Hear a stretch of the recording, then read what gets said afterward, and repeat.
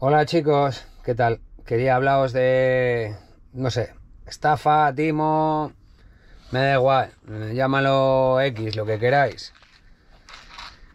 A primeros de marzo de este año ha salido una nueva ley ¿eh? del gobierno hacia la ITV y demás que cualquier cosa que hagamos en la autocaravana o instalemos se consideraría eh, reforma. Como toda reforma, habría que homologarla. Eh, ¿Qué pasa?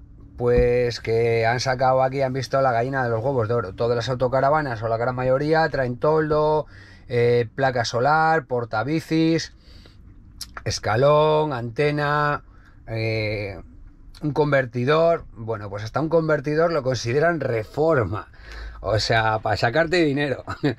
Entonces ha habido mucha gente porque claro, esto salió a primeros de marzo y decían que mm, ahora en noviembre, bueno, no sé si era en, octubre, creo que era. A finales de octubre, el 21, pues que, mm, que era la fecha tope como para homologar todo esto bien, ¿no?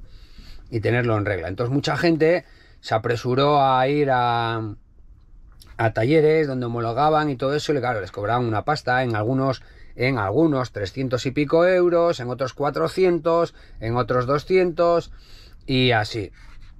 Vale, entonces han sacado una pasta. Yo lo sé porque he ido llamado también a algún taller y estaban a tope, pero a tope, no daban abasto.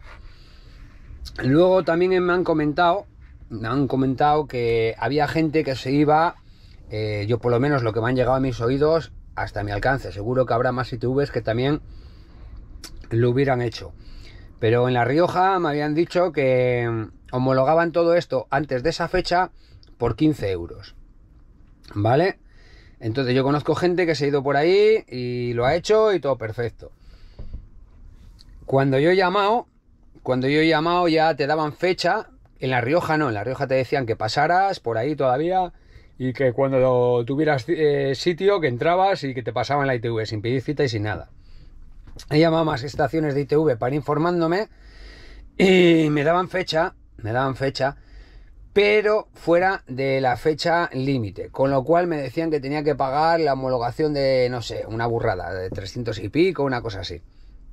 Y yo, pues nada, diciéndoles que claro, que todos estos elementos, esta es mi segunda autocaravana que tengo, y la compré con todo ello puesto, antes de la ley.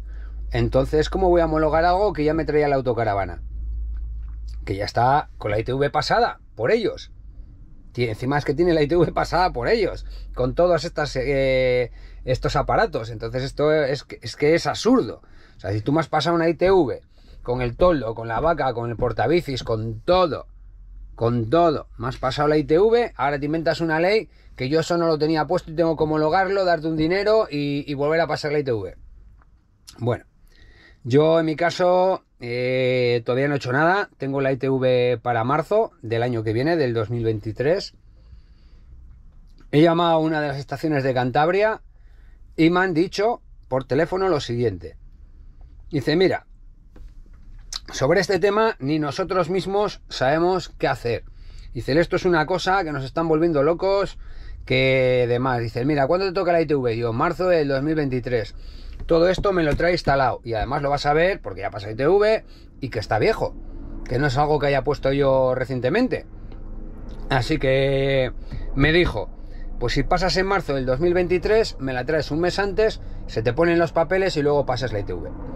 Palabras de la ITV, de Ontón de Casturdiales. Ojito. Eh, ahí queda.